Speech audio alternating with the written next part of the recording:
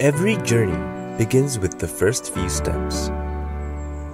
There will be moments of hardship until we realize that no aspiration is too big, too small, or even impossible. Good things come to those who continue to believe in their dreams, despite any challenges, and continue to believe in their dreams, no matter how challenging it gets.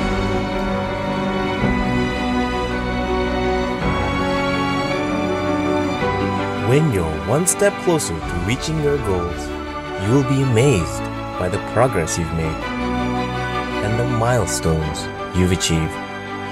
And once you reach the peak of your aspirations, you'll find that your efforts will be rewarding in many ways. BIBD Aspirasi 3 Reach the peak of your aspiration.